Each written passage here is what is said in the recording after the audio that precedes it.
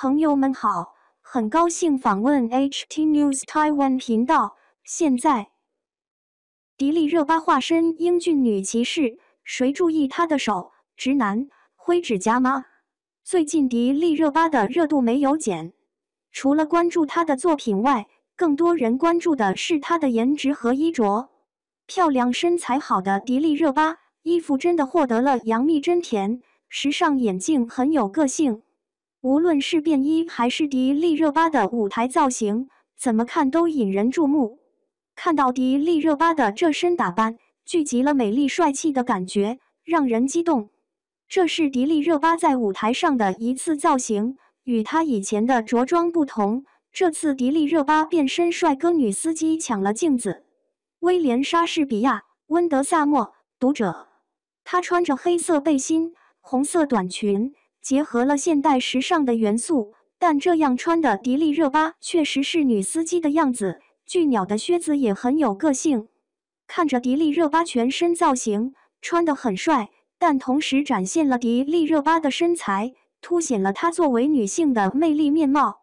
威廉·莎士比亚《哈姆雷特》美丽名言：美丽名言。迪丽热巴的衣着很漂亮，但男人似乎不能接受谁在乎她的手。从迪丽热巴的穿着来看，帅气漂亮，特别是踩在脚上的鞋子，虽然看起来很有个性，但是看到迪丽热巴的手，预计直男会问灰色指甲。其实迪丽热巴涂了灰色指甲油，真的以为直男是灰色指甲。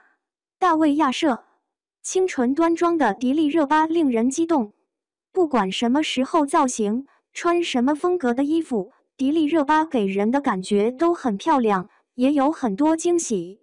威廉·莎士比亚《哈姆雷特》美丽名言：威廉·莎士比亚《哈姆雷特》美丽名言。他穿白色衬衫搭配牛仔半裙，看到这一搭配后，才发现迪丽热巴穿了衬裙，这种搭配特别凸显了少女的气息。